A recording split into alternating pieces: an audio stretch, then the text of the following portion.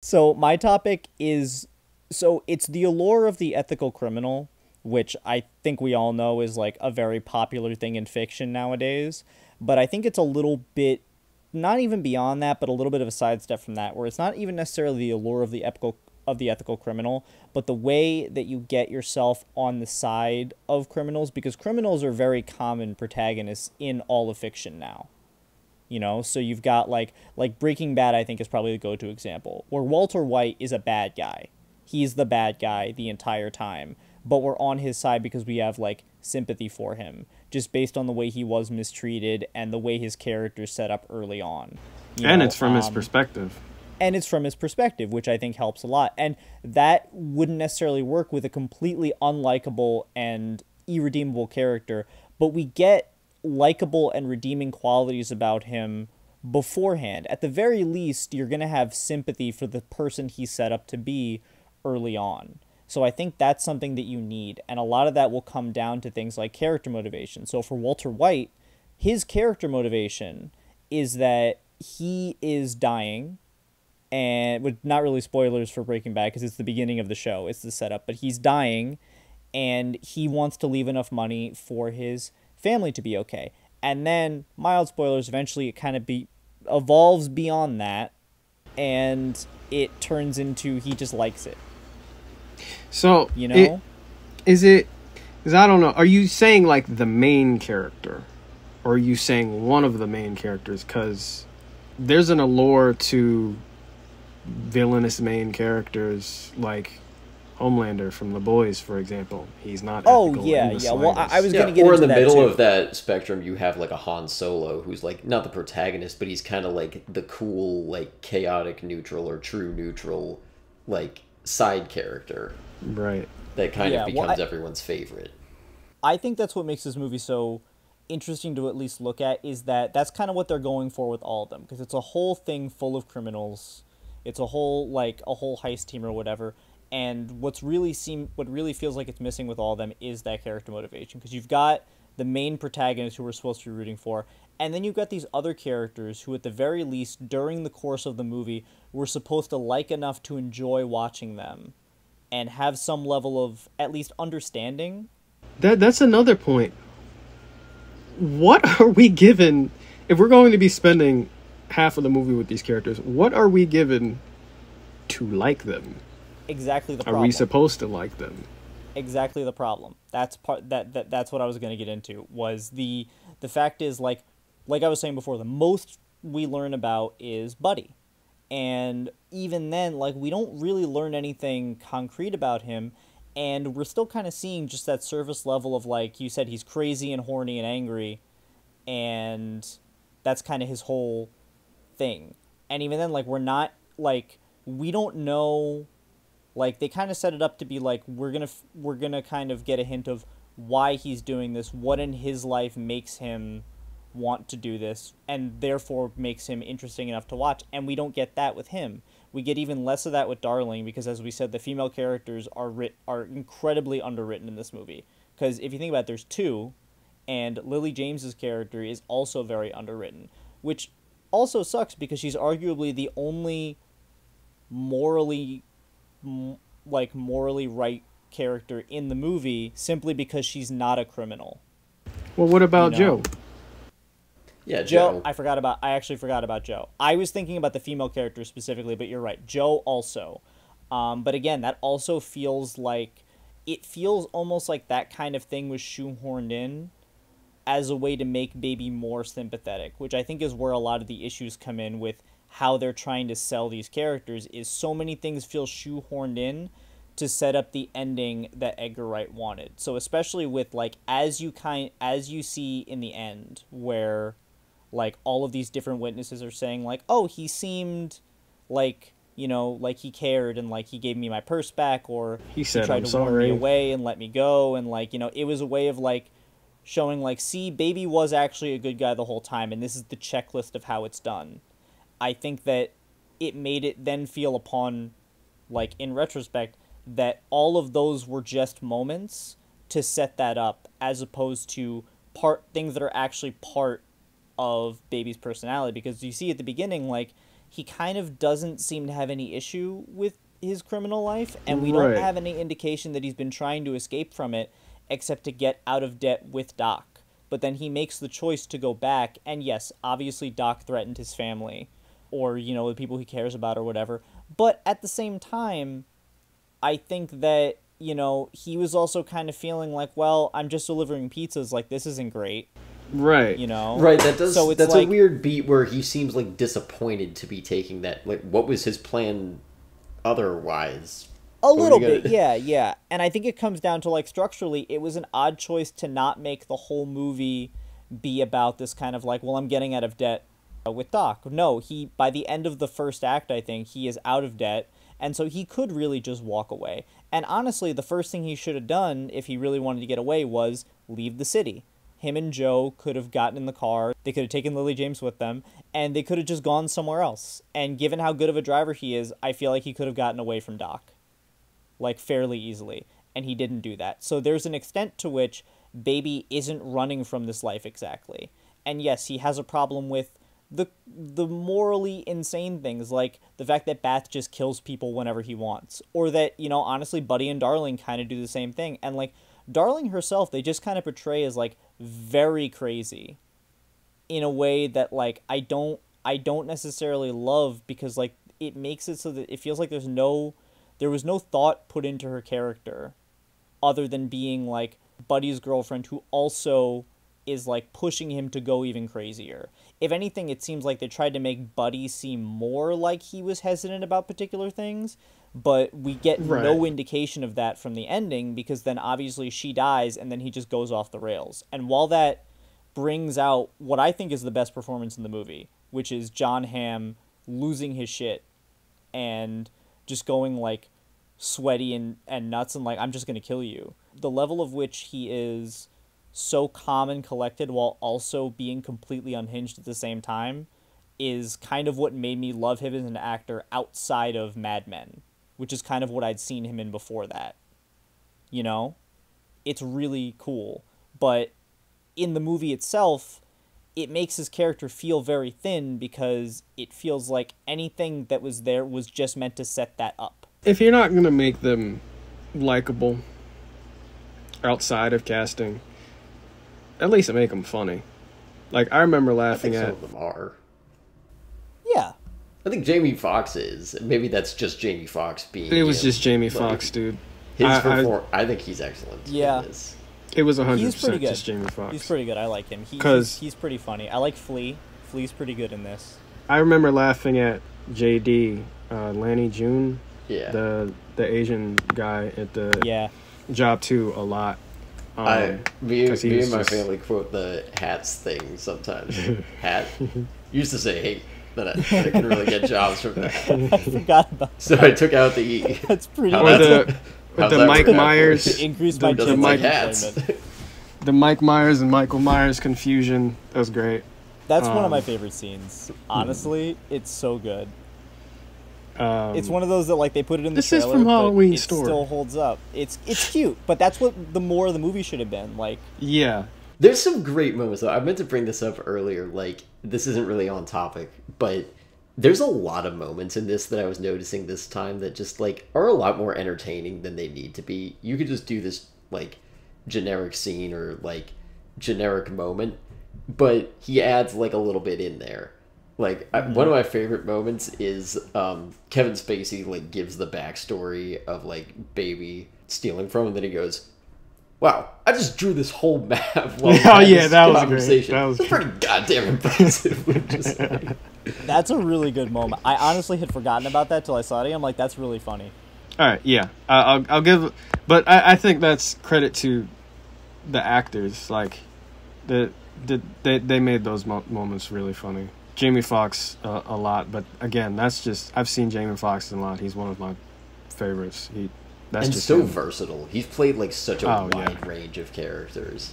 He was Like Electro between, even just between Spider-Man this, He was Electro, Electro. Collateral, and Soul. He was- like Oh, what yeah, a Soul. broad spectrum of like different types of people. He was a vampire hunter in Day Shift. He was great in that too.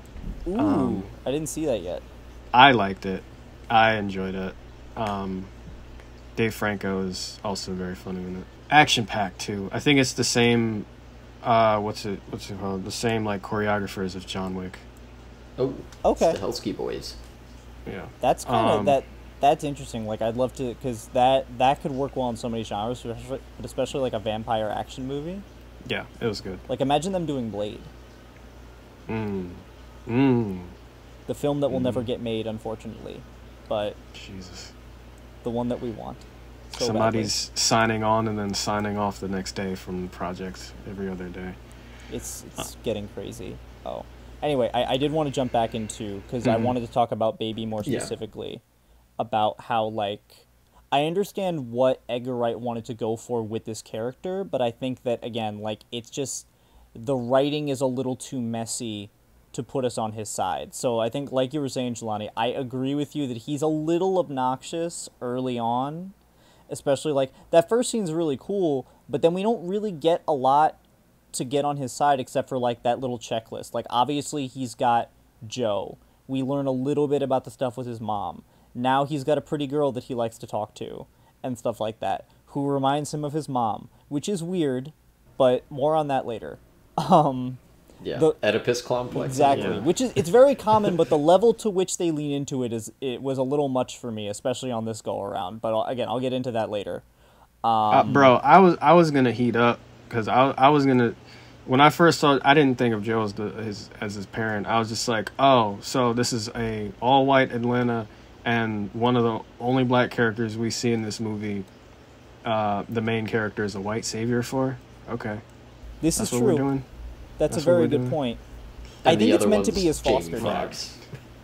I yeah, yeah, it's his foster. I learned later that it's, his foster dad. That- yeah. That's when I. But I think I learned that from calmed down. Wikipedia. I don't think that I learned that from the movie. no, he says it. There's a line. Which is another There's thing li- that I Somebody hate. definitely says Mm-hmm. the word foster dad. Okay, he does. there Okay, somewhere. okay. Then I I think Baby calls him his foster Yeah. dad to Deborah at some point. then I must have then I must have missed that because like as nice that is like it's almost tacking on too many things. So like you've got the whole foster dad thing, right? But we don't learn anything about Joe as a character really, except Oh, that yeah, like he that cares too. about baby, but he's upset that he's a criminal. Again, writing it very as a very one note, very tropey thing. Then you've also got the stuff with his mom, which was only a little confusing because I kind of didn't understand at what point he lost his mom. I don't really remember if we learned how he lost his mom either. it's the Car car accident.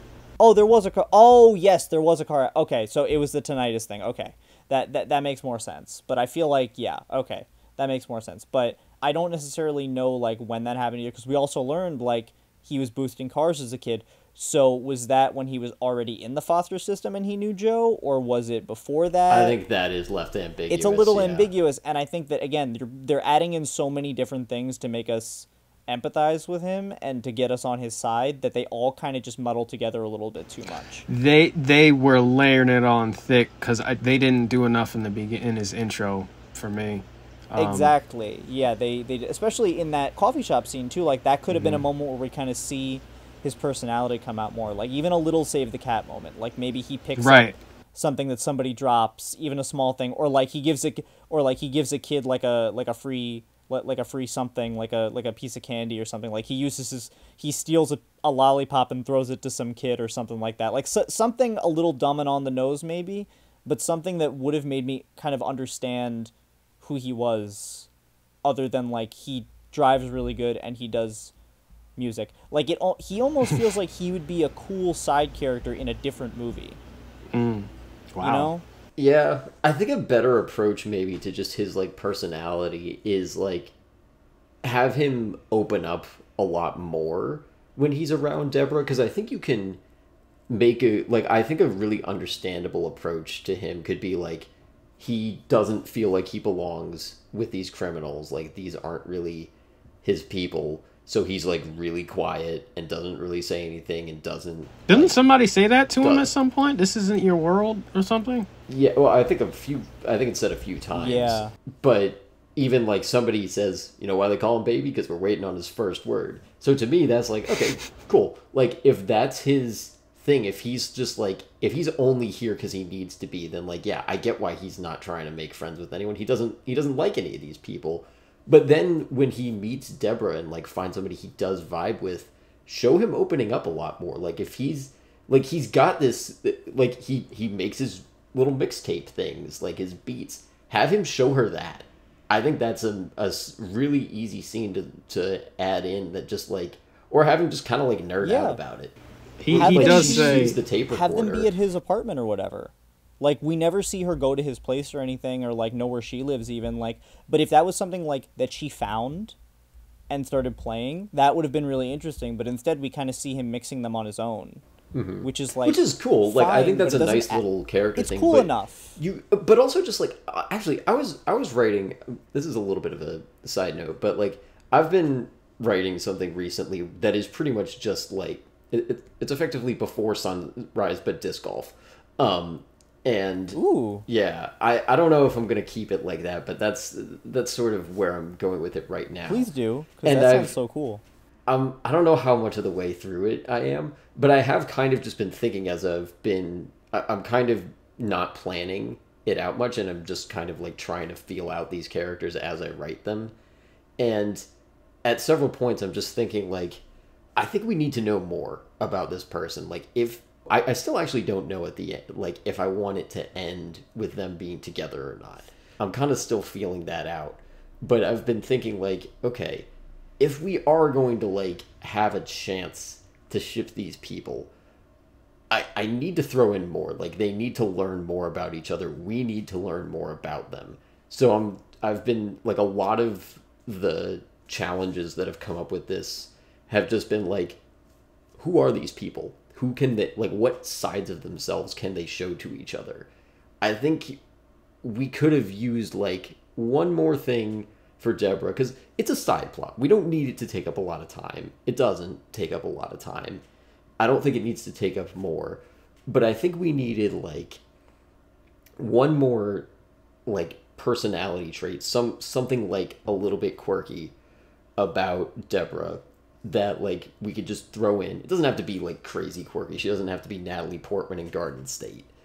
But Oh, like yeah, sorry, I saw that recently and I think that's like a little too As an example of going too far in the other direction. no, but, that, just that, like that's uh, I understand what your comparison is. That that that that makes some sense. Yeah, but just like ha- tell us one more thing about her and have like one more thing that they connect over.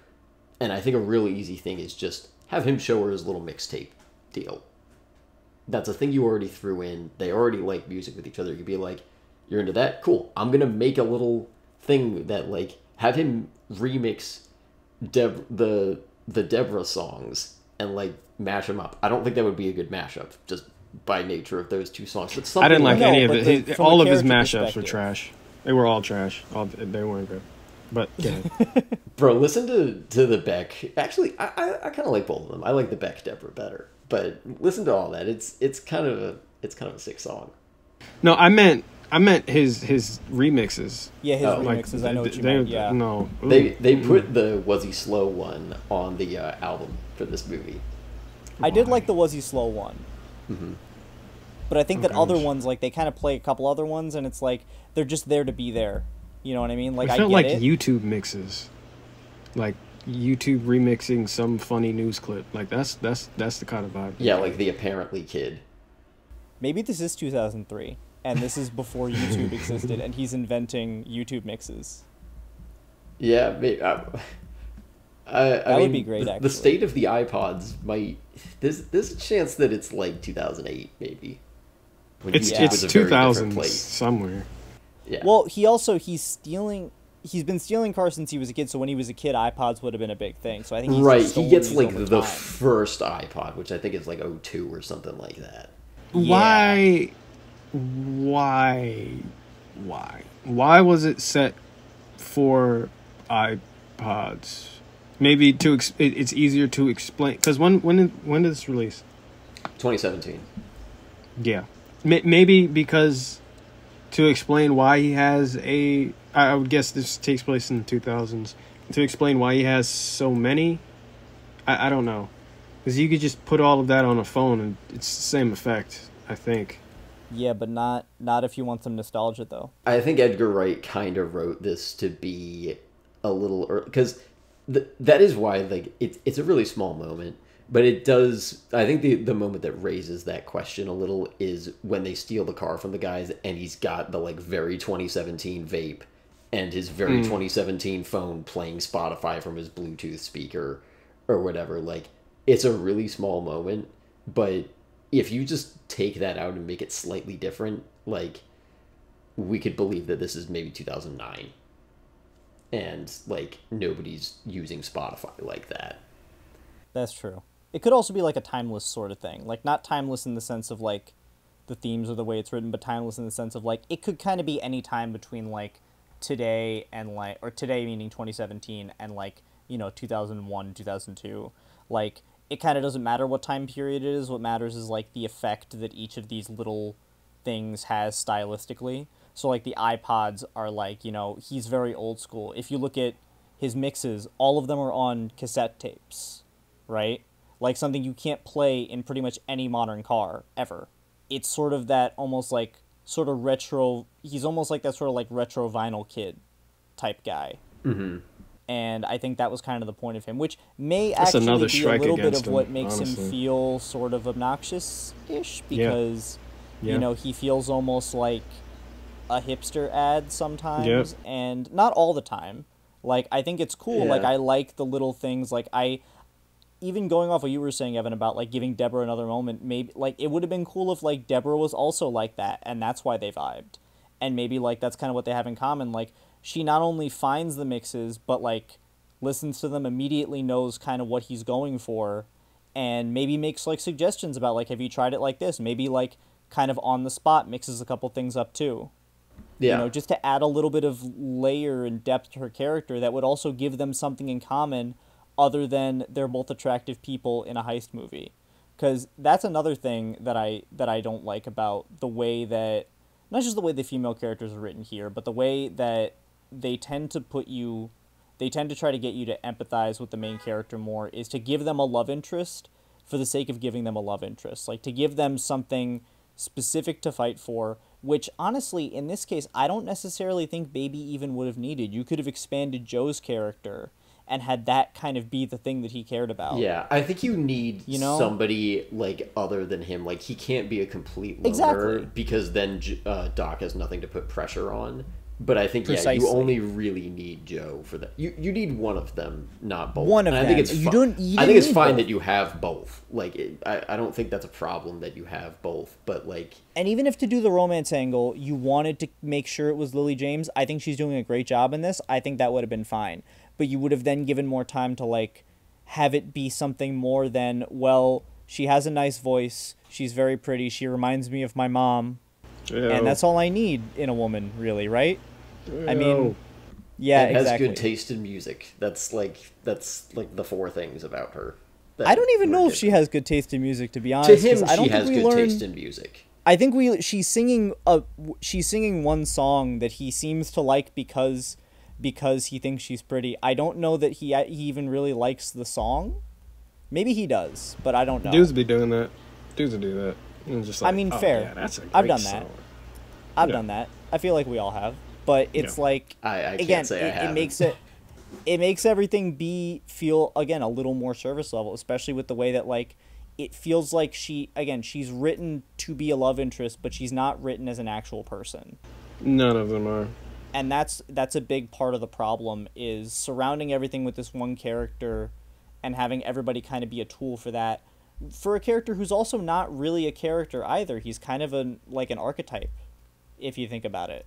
Because we don't learn enough about him to really get on his side about much. Yeah, and it's too bad know? because I think his like very base construction of like guy who's sick at driving and like time stuff to music like that's a that's just a two cool things right there and is like a very ethical criminal that's those are three really strong protagonist qualities Well, not for me, but for But me they that's, could that's The third thing for me. pretty good stuff they could be if they're done right Right. Right. And I think I think those three elements are done right here. He just doesn't have much of a personality outside of that. he has Um, a southern accent. yeah. and he does talks have a really southern low. accent And it, I kind of like his southern accent here too. It's like a little bit. No, I subtle, like it. It's not there. i like his han solo vest jacket i think that's cool I could do without that. Um, but, like I, it's kind of funny at the one part where like he's he's making like the disguise in the mall and he grabs the sunglasses and it's like he feels like he needs a like you could just lose the vest. You don't need another jacket. But if you on lost top of if you that. lost sunglasses, it would have been a way better disguise. Probably, like yeah, Because he was wearing sunglasses before. You would be looking for a guy with sunglasses. They haven't seen your eyes necessarily. Well, he had one popped out. Oh yeah, yeah, but they've seen one popped eye. It's not the same though. Like I feel like that's a very specific look. It's like having a face tattoo. Why didn't Jamie Foxx just shoot him when he accelerated? Um, because Jamie doesn't have Foxx time. didn't have time. He didn't have time because he got he got The dead. gun was to Which his head already. Thing. Baby just straight up murders a guy. Something that Okay. he has shown he's not I did not want gonna to talk do. about that though. Back on, going back to your topic. I Um, moved. It, yeah, I I do like that when a, a positive because we've we've been listing a lot of negatives of this movie and I still like it, and a positive that I have. Yeah, we should list more is- positives actually. Nah. I, I think we have, Jelani doesn't have any positives. Well, me and Evan have some positives. I think we'll get to I know that the much. end.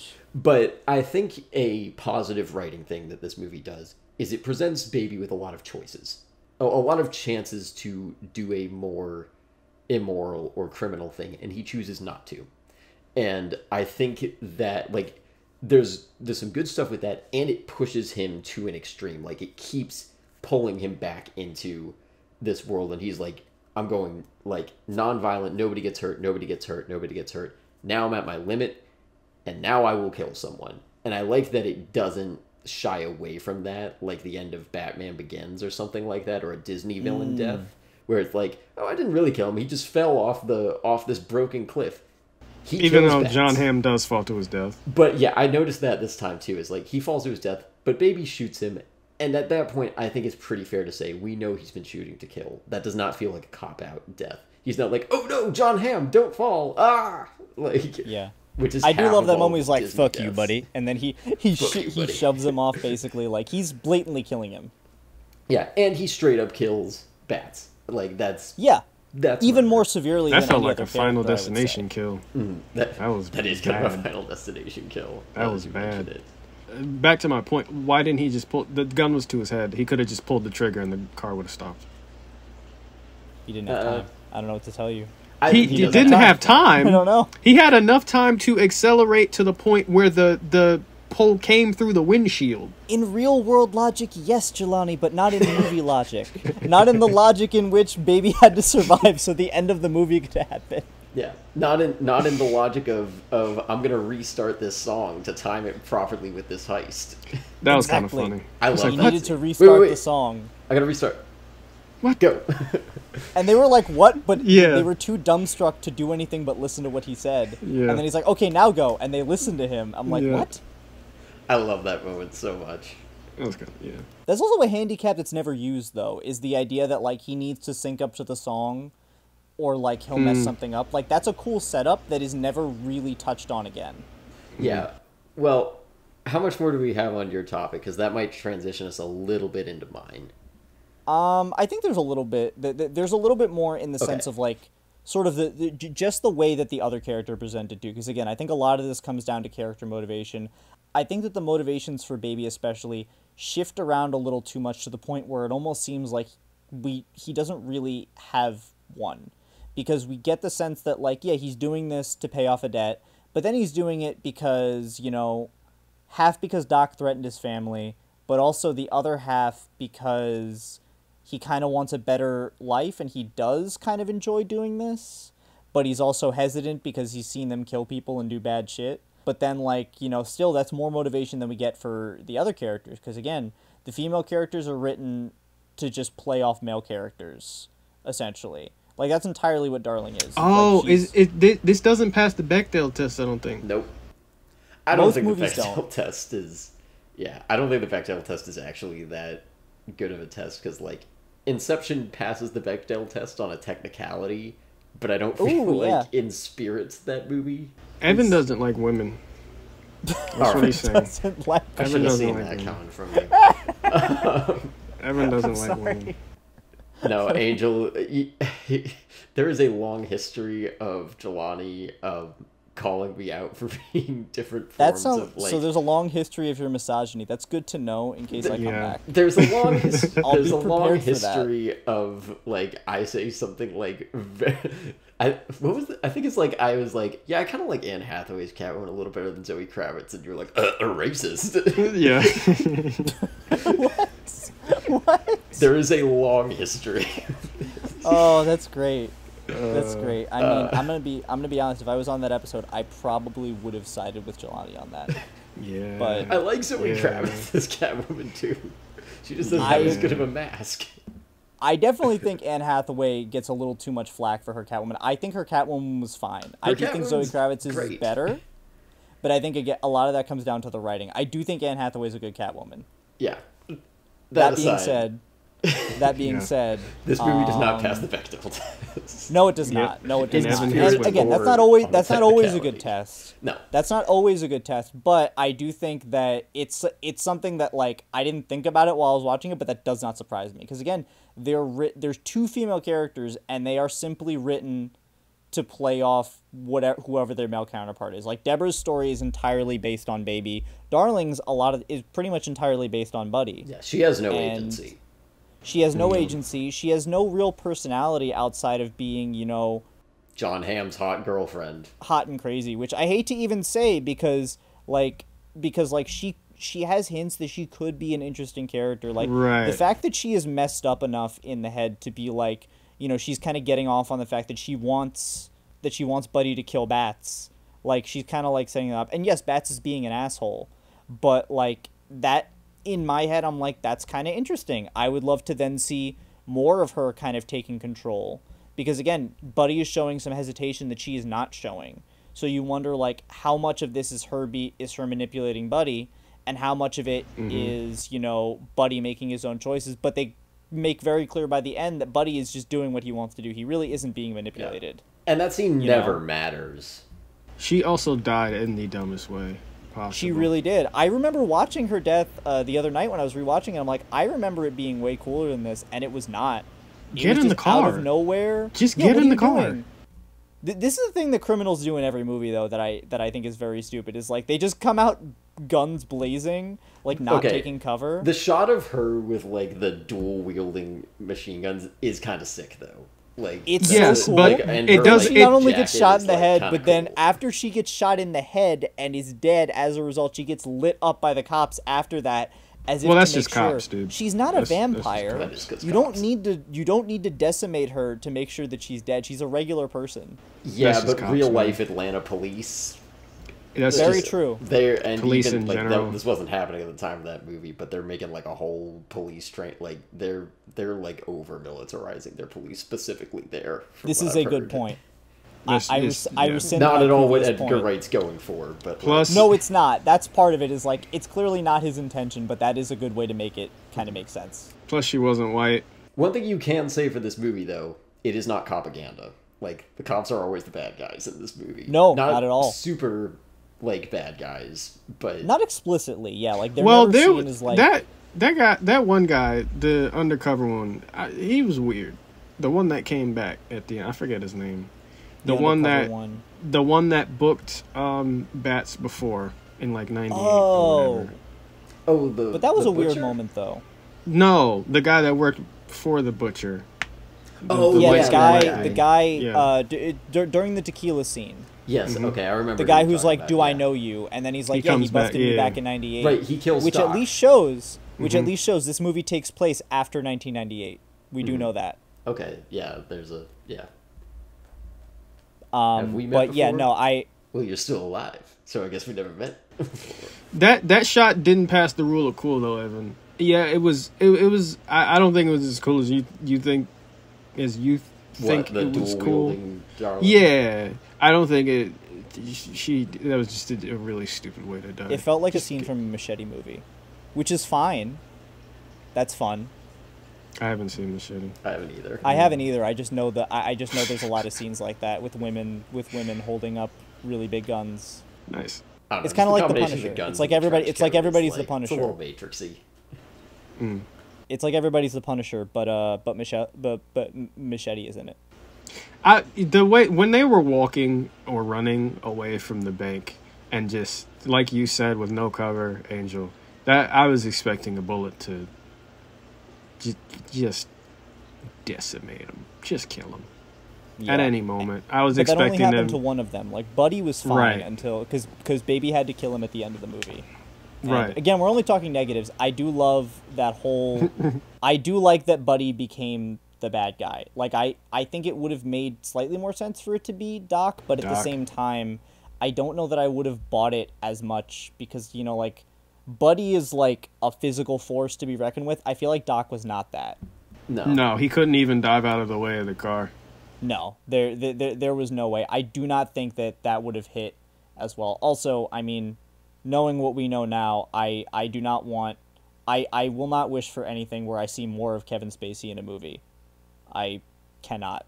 I do not want Yeah. that at all. I do like him as an actor, but yeah, this, I think this was like his last movie, pretty much, Oof. before Well- the stuff broke. Yeah, yeah, it, it, it was. It was his last. It was his last movie because this was also around the time he got kicked off House of Cards. Yeah, Um, I, but, I, it was yeah. too bad because I remember when this movie came out, like he, I would have named him as one of my favorite actors because I was a big House of Cards fan at the time too. And then I Yeah. think like three months. So then you Kevin something- spaced yourself from him. Yeah. Yep. Yeah. Uh, and yeah, that unfortunately House of Cards was already kind of going downhill before he had to leave. This is true. But yeah, it's I I feel like this movie is more like Kevin Spacey has played like so many villains that like knowing what we know like honestly because Ansel Elgort's done some shit as well that's come out and I feel like Oh, has he? Oh, I think he like had some like texts to a minor that were I don't know the um, details. but Oh, it's I did hear about I that. remember it came out like I, I want to say like 2020 or something, but I remember rewatching it after that. and I was like, it, like knowing that about Ansel Elgort makes this movie feel grosser because like you're not supposed to like Kevin Spacey in this, so like I can kind of that, that's kind of the thing. He plays like bad guys a lot, so I feel like Yeah. Post cancellation, it's less of a problem for me, like watching it. and B- Baby Driver is kind of like he's not prominent enough in this where I feel like I felt where I didn't feel like it was as big of a deal watching this because again he's not the focus, Yeah, and he's the bad guy. you know, and he's the bad guy. You know, I don't love how they make him a little more sympathetic toward the end, but I think when they were making this, like, they didn't know what was going on with him, and I also like I don't think that they would have changed the ending anyway. No. like I that's not something that I feel like Edgar Wright would do. You know? Like obviously and like they replaced him in all the money in the world Right, but Um, that came out after. for these same reasons. But that yeah, exactly, that came out after. Like they refilmed everything with Christopher Plummer.